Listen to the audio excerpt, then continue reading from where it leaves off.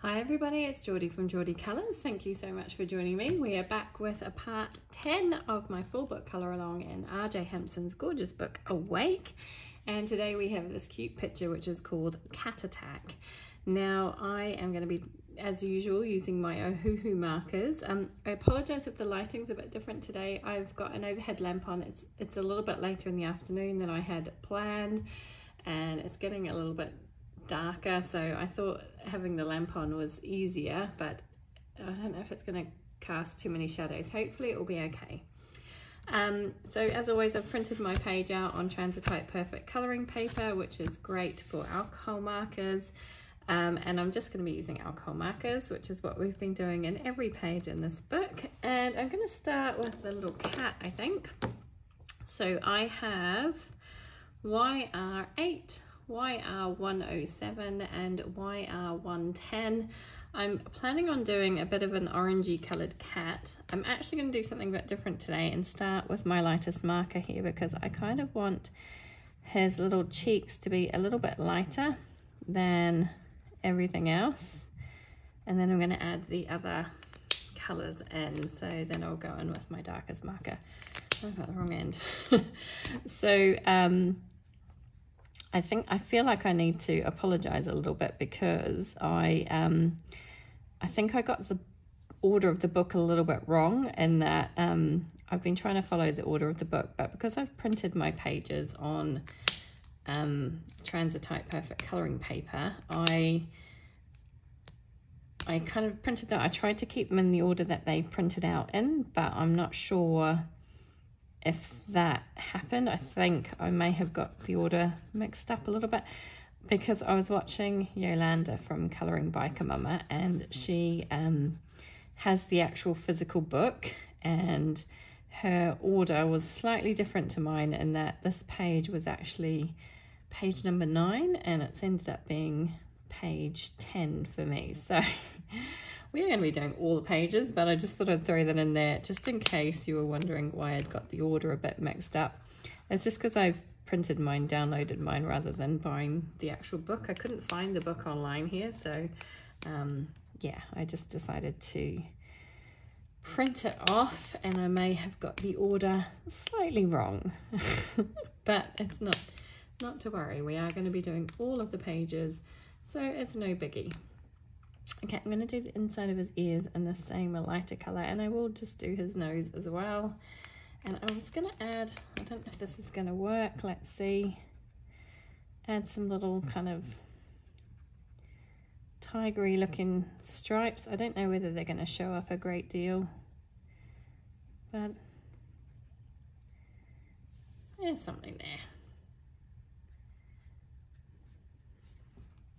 And that'll do for the cat. There's not much to colour there. It's pretty small. Oh, I do need to do his eyes. Hmm.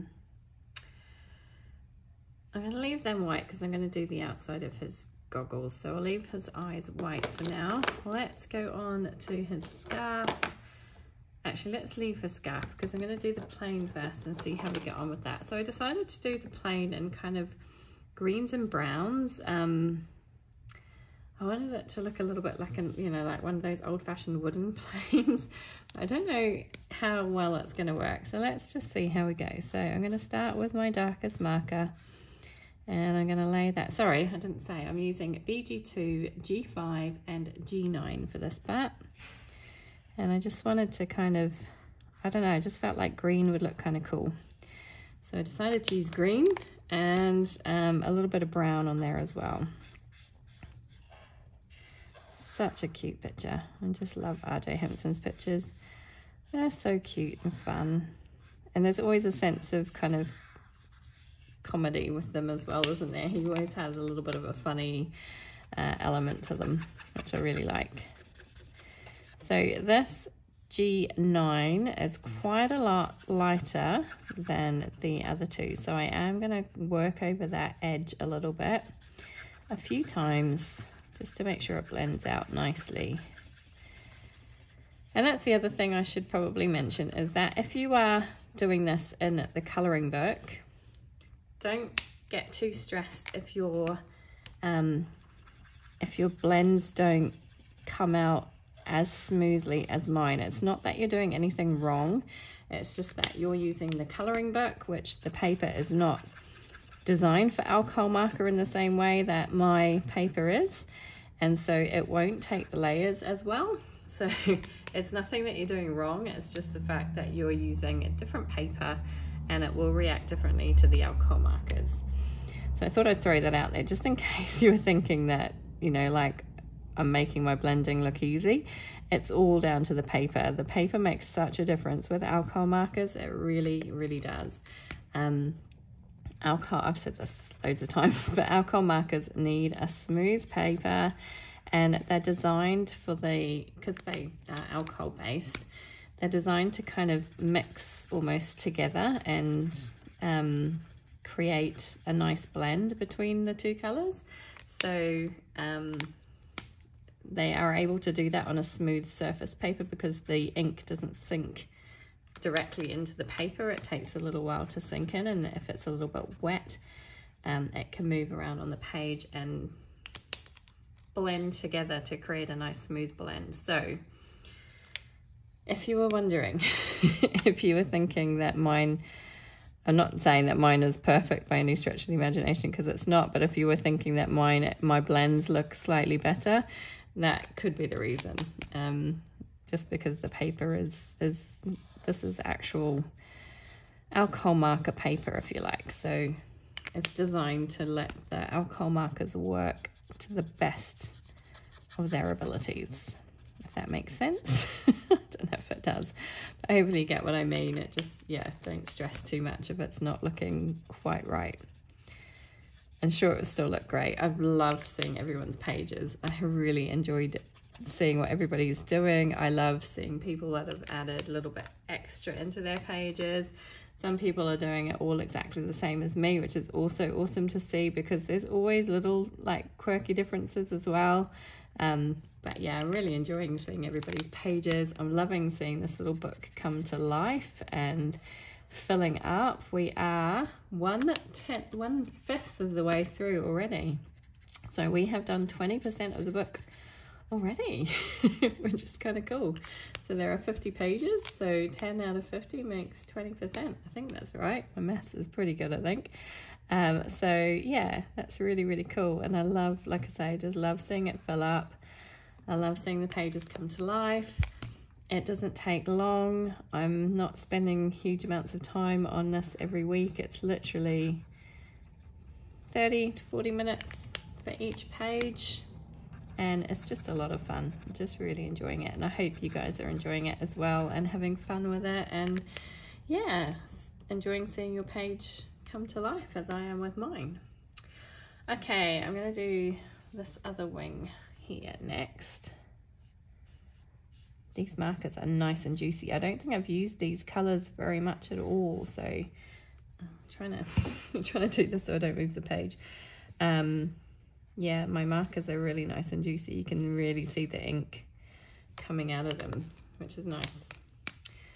I like having nice juicy markers. It does, it, honestly, it makes such a difference as well if you've got plenty of ink in your markers as to how well they kind of blend out and because um, obviously it's easier to not so I wouldn't say saturate the paper but you know what I mean it's like it's easier to get a wetter paper which makes it easier to blend.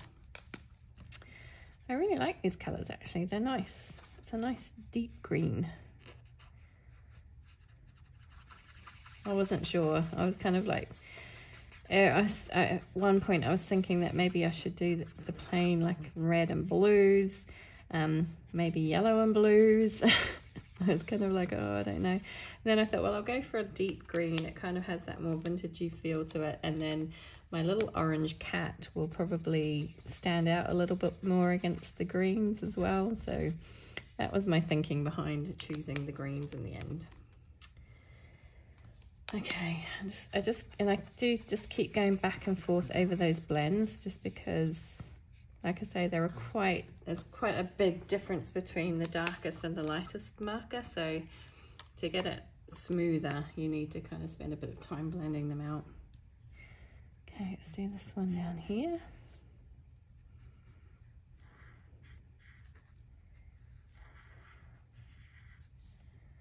A little bit around that bit there.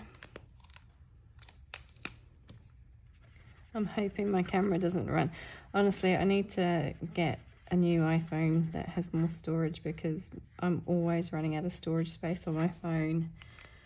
And I'm always trying to back things up and delete unnecessary things and I spend so much time doing it. Um, I don't have much memory on my phone at all, so I really do need to invest in a new phone that has more memory, but they're so expensive, aren't they? Like, honestly, I know we use them every day. Um, sorry, I know I've got planes going over. Yeah, I know we use we use phones a lot, but I, I just, oh my gosh, crazy. And they keep coming out with newer and newer models.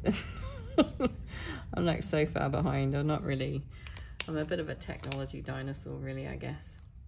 Okay, uh, let's go in with this one. So I always, as always, just like to do kind of my colouring in sections so that I have time to work on each section while the paper is wet from the marker rather than um, leaving it to dry too much. So I had a bit of shadow in there.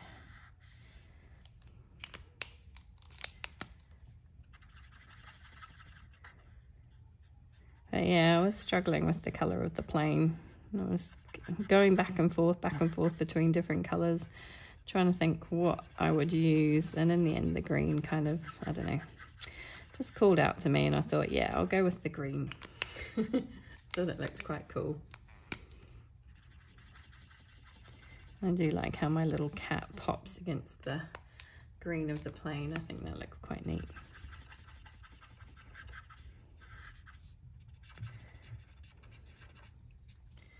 Okay, so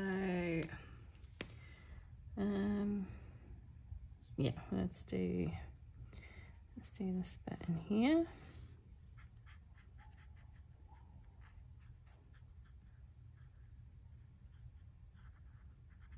Do all of that bit dark because it's probably going to be in shadow there. And maybe a little bit around his little cockpit there. Just leave a little bit of space for that lightest marker.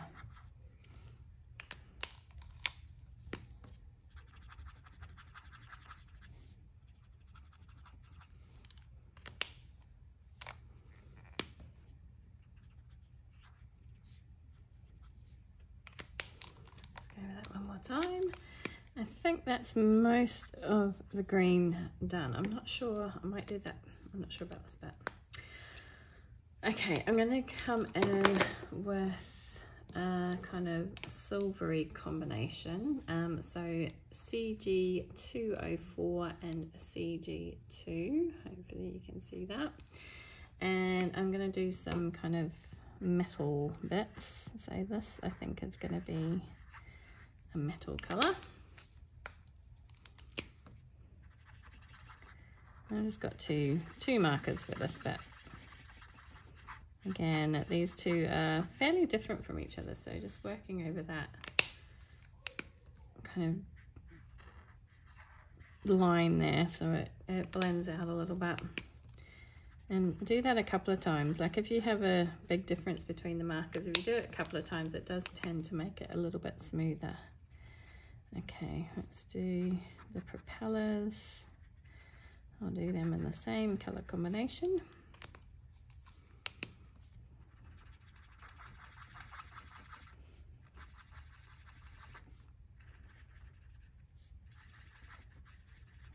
You could do fun stuff here, like adding in um, like a silver gel pen if you wanted and color all this in like a silver gel pen, or you could add some metallic paint. Um, yeah, kind of whatever takes your fancy really, but I'm just doing it. Like I say, this, this for me, this is all about being quick and easy and not spending hours on um, a page. So I'm just, yeah, I'm just making making it simple but fun.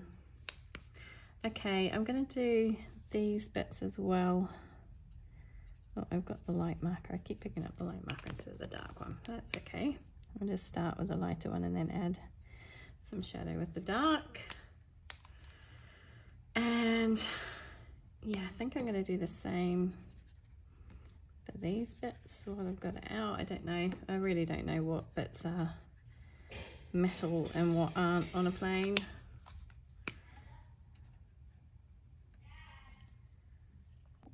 Okay, sorry about that. Yeah, so just gonna add a little bit of silver there and to these bits as well. Um, where else do I need to add this? Probably to this bit as well, I think.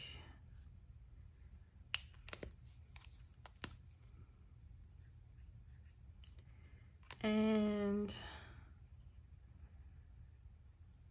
I don't know, I think I'm going to do this bit brown. Um, do I need to do it inside? I think I'll need to do this bit as well.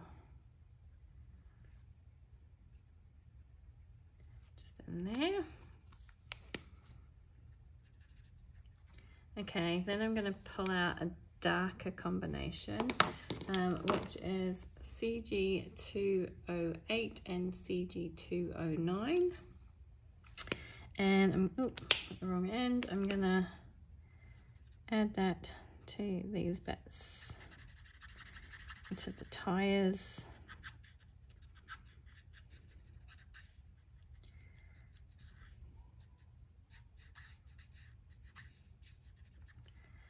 like so. I don't think there's, oh, I think I've put the wrong colour on first. Yeah, I have. That was the lighter colour. So the 08 is the lighter colour and the 09 is the darker. So I'm just going to go back over those bits that I'd already put down. And then I can blend out the lighter one. Not that it makes a huge difference, but...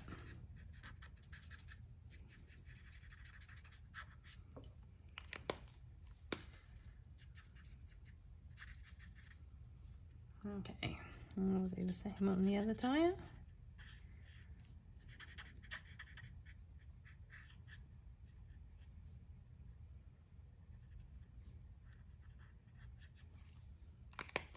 And then blend it out again. I'm hoping the lighting's okay. Sorry guys if it's not up to its usual standards. It just, it's a little bit later in the afternoon. I got held up doing all sorts of stuff today. Work got in the way of life today. uh, so I didn't get quite as much time to get this done as I had hoped. Okay, I'm gonna add a little bit to this bit, hoping it kind of looks a bit like a leather trim around the edge. I don't know. I really don't know what planes were made of back in those days. Um, and let's add just a little bit of the darkest colour in here.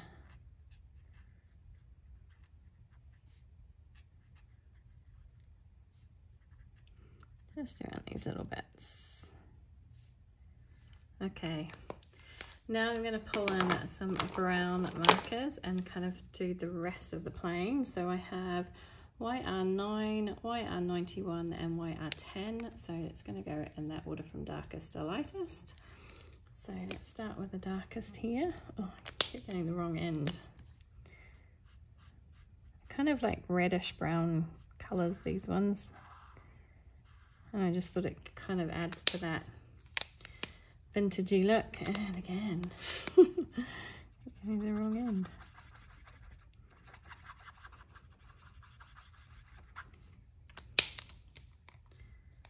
Yeah, the right end this time.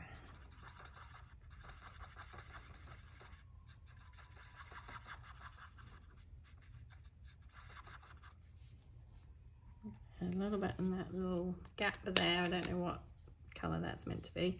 Um, I'm going to do these bits as well.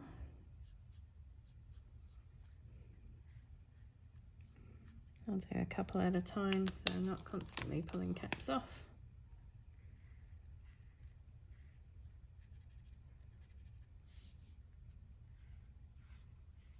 I don't know, these, yeah, maybe they're meant to be metal, I don't know, but we'll do them brown. Just adds a bit of contrast. I like that green and brown combination. I think that's quite nice. Okay, we're getting there.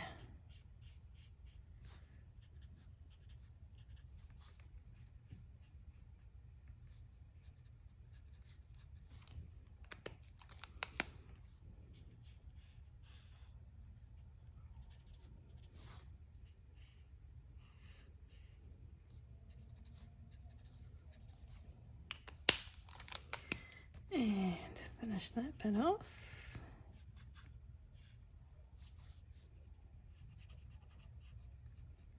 I love that R.J. Hampson's line art is actually quite thick. It does make life a lot easier um, when you're using alcohol markers because sometimes alcohol markers can bleed outside the lines. That's another thing that happens more often in kind of more toothier paper or thinner paper. Um, it can bleed outside the lines a little bit more um, than it will on this paper where it kind of stays put where you've put it down. So just be aware of that as well.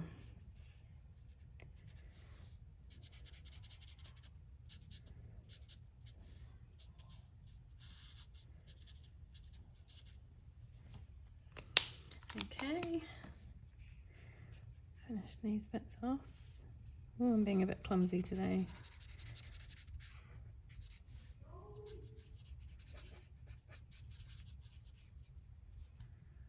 Okay, and I'm going to do bit in the same combination. So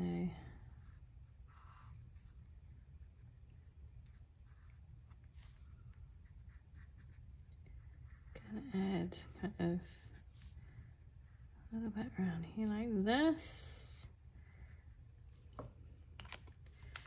And blend that out a bit.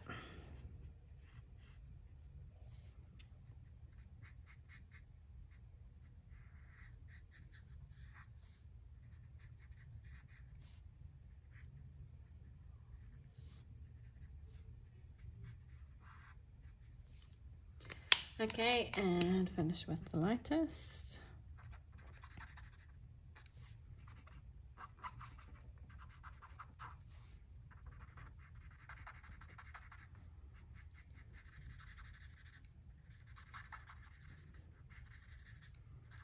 Okay. Sorry, I feel like I'm having to rush this a little bit. It's half term. My kids are off school. They're always wanting something. That's why I didn't get to start this page as early as I would have liked because I was trying to do stuff for them and then I sat down and now my youngest is hunting around looking for something in particular and I'm trying to deal with that. But I do want to get this finished quickly before I go and talk to him. So okay there we go. I'm gonna do his scarf. Now scarf and his goggles. I think I'm going to do his goggles in the brown as well, actually. I think, you know, brown, I don't know why. Just, it feels like they used to have kind of like leathery goggles, didn't they? I don't know. I might be making things up. I think that's what they used to wear, these kind of like leather kind of goggles. And we can do something fun. Oh dear. Going over his eyes, but that's okay. We can do something fun with um, the kind of insides of the goggles at the end. Okay, and then for the clouds, I'm just going to do something really, really simple. I'm going to use G420, which is called Green Shadow. And I'm just kind of going to go around the bottom edge of each of my clouds. Nothing fancy, just kind of emphasizing those swirly bits. And that's pretty much it. I want them to look white. I'm just adding a little touch of color to um, just to, I don't know, highlight them, make it quick and easy. Right, his scarf, I was gonna do a lighter green, but I feel like it's too much green. Um, so I think colour should we go for? Should we go red? Yeah, let's go red. Okay, let's go uh, R8 if I can find it. Yeah, let's try this and see how it works. I'm going to go R8 and R1 for his scarf. Just add a little pop of something else.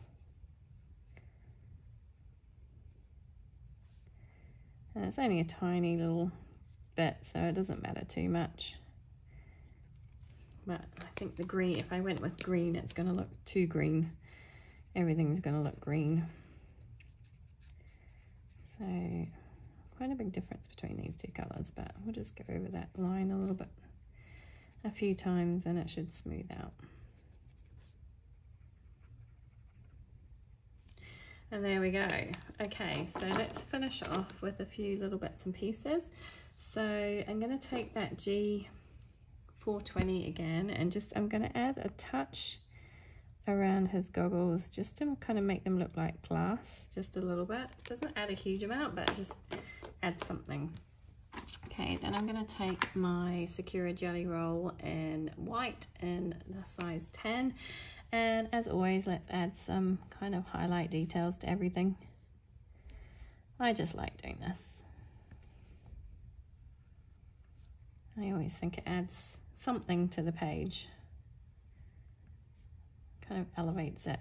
And it all definitely makes it look a lot more cartoony. Where I've gone over the edge there, I'm just going to colour that in with my white so you can't see it quite so much and I'm just going to emphasize the little dot in his eye. Okay let's add some to this part of my plane.